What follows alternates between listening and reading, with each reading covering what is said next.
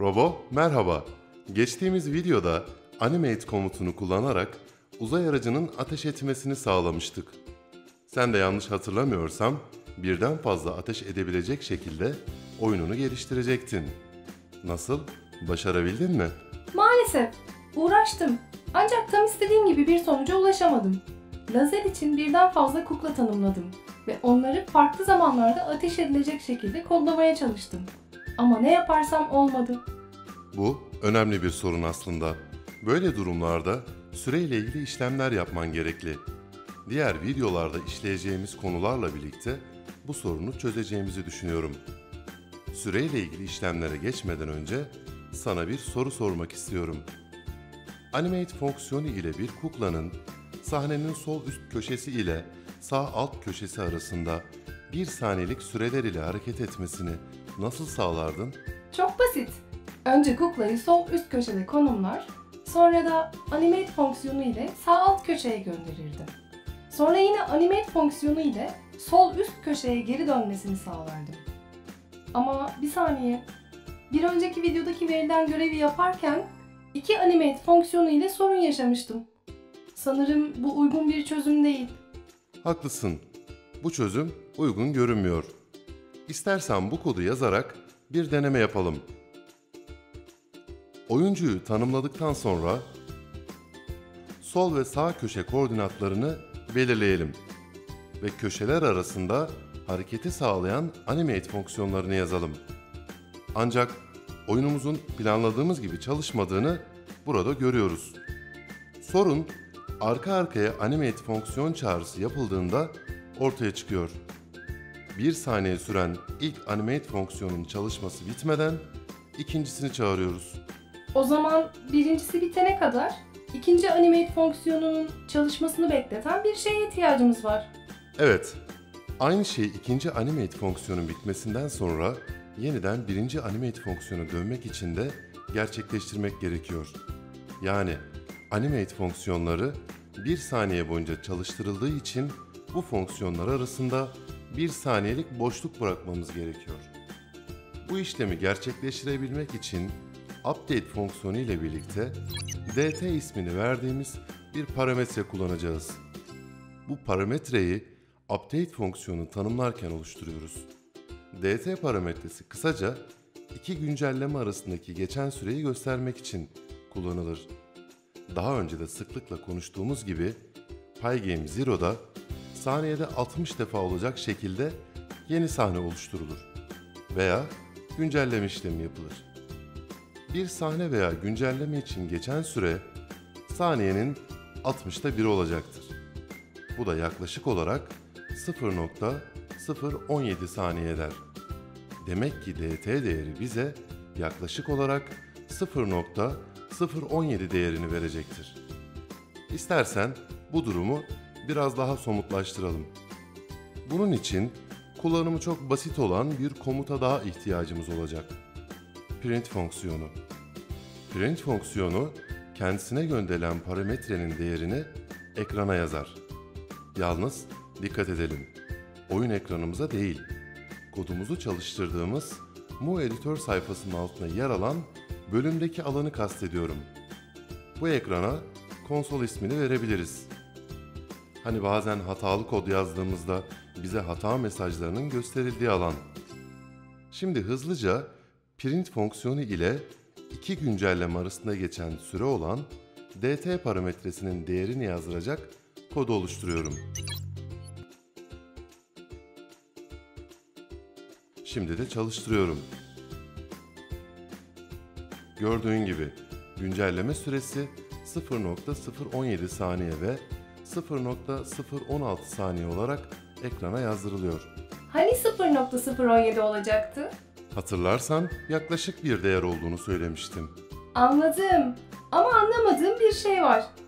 DT iki güncelleme arasında geçen süreyi veriyor. Ama hala bu durumun animate fonksiyonu ile ilgili sorunumuzun çözümüne nasıl katkı sağlayacağını anlayamadım. Bu durumu çözmek için yapacağımız şey temel olarak güncelleme sürelerini birbirlerine ekleyerek program başından itibaren geçen süreyi hesaplamak olacak. Şimdi program başından itibaren geçen süreyi ekrana yazdıran kodu basitçe oluşturalım. Bunun için öncelikle geçen süre ismini verdiğim bir değişken oluşturuyorum. Bu değişkene ilk değer olarak 0 değerini veriyor ve dt parametresiyle aldığım güncelleme süresini bu değere ekliyorum. Geçen süre değişkeninin global bir değişken olduğunu unutma. Geçen süreyi hesapladığımıza göre bu süreyi koşullara bağlı olarak kullanabilirim artık. Daha önce if ve if else şeklinde koşul ifadelerini konuşmuştuk.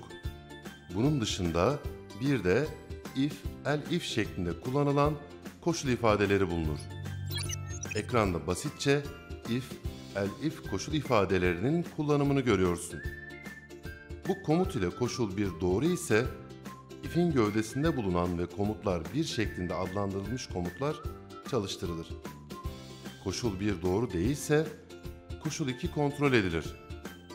Koşul 2 doğru ise el if'in gövdesinde bulunan ve komutlar 2 şeklinde adlandırılmış komutlar çalıştırılır.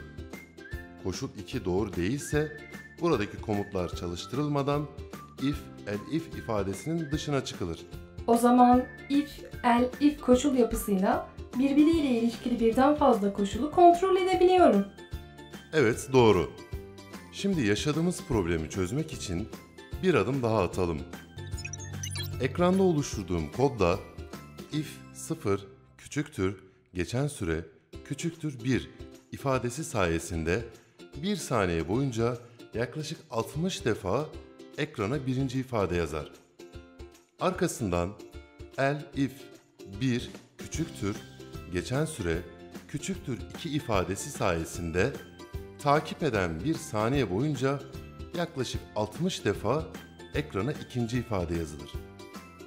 Bu iki durum tamamlandıktan sonra geçen süre 2 saniyeden daha fazla olacaktır. Ve 0 küçüktür geçen süre küçüktür 1 ile 1 küçüktür geçen süre küçüktür 2 koşulları artık doğru olamaz. Ekrana sürekli 60 defa birinci ifade ve ardından 60 defa ikinci ifade yazdırmak için ikinci saniyeden itibaren geçen süre sıfırlanmalıdır. Böylece geçen süre sürekli 0 ile 2 arasında değişecektir. Bu durum saatlerde kullanılan mantık ile aynıdır. Evlerde kullanılan saatler de sıfırdan başlar ve 24'e kadar devam eder. Sonra yeniden sıfırlanır. Şimdi burada programımızda ufak bir değişiklik yapacağım. Senden de bu değişikliği hızlıca incelemeni ve yorumlamanı istiyorum.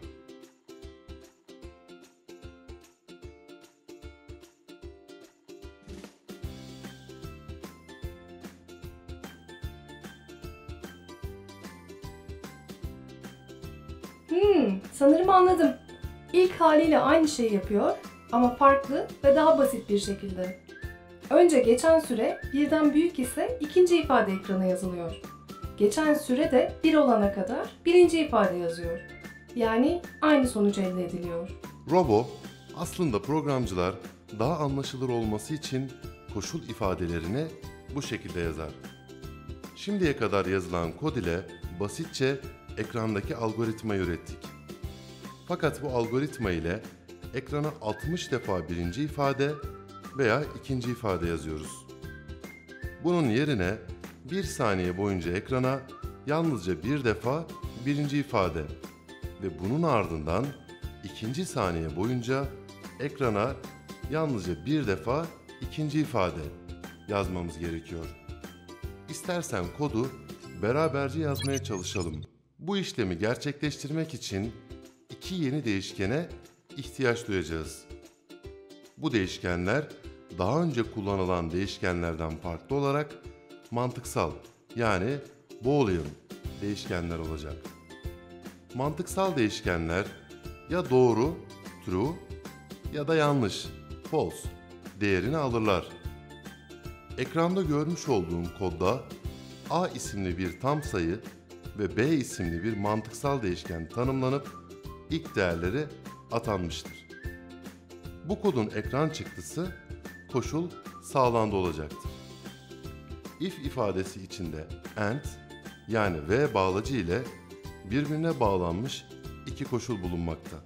Evet, AND ile bağlanan koşullarda her iki koşul doğru olduğunda sonuç doğru oluyordu. A'nın değeri 1 ve B'nin değeri true yani doğru olduğu için her iki koşul da doğrudur ve ekrana koşul sağlandı yazılır. Bu arada B eşit eşit true yazmak yerine sadece B yazarak ifadeyi tamamlayabiliriz. Hatta programcılar genelde B eşit eşit true gibi bir ifade yerine sadece B yazarlar.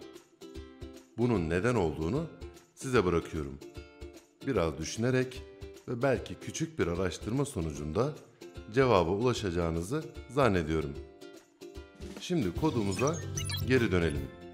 Öncelikle saniye 0 ile 1 arasındayken yalnızca bir defa birinci ifade yazılması için geçen sürenin yanında yeni bir koşul daha ekleyelim. Bunun için bir değişkene ihtiyacımız olacak. Birinci ismini verdiğimiz bir global değişken tanımlayalım ve ilk değer olarak true değerini verelim. 0 ile 1. saniye arasında birinci isimli değişken true olduğu durumda 0 küçüktür, geçen süre küçüktür 1, and birinci eşit eşit true koşulları sağlandığı için if'in gövdesindeki komutlar çalıştırılır. Burada birinci değişkenin değeri false yapılır ve ekrana birinci ifade yazılır. Geçen süre hala 0 ile 1. saniye arasındayken ikinci defa birinci ifade yazılmayacaktır.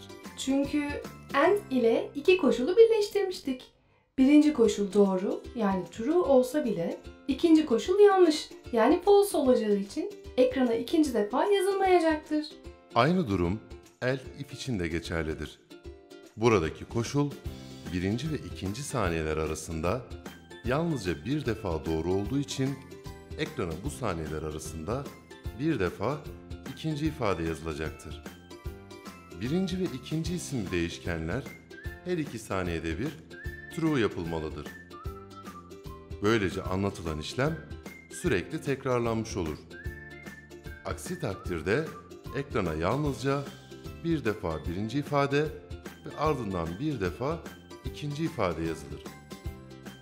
Birinci ve ikinci isimli değişkenler false olduğu için ekrana yeni bir ifade yazılmaz. Artık iki animate fonksiyonu çalıştırabilmek için her şey hazır. Yani sol köşeden sağ köşeye ve tersi yönde hareket için gerekli animate fonksiyonlarını biri bittikten sonra diğeri çalışacak şekilde yazabiliriz. Ne dersin? Bir kere daha denemek ve sorunu çözmek ister misin? Neden olmasın?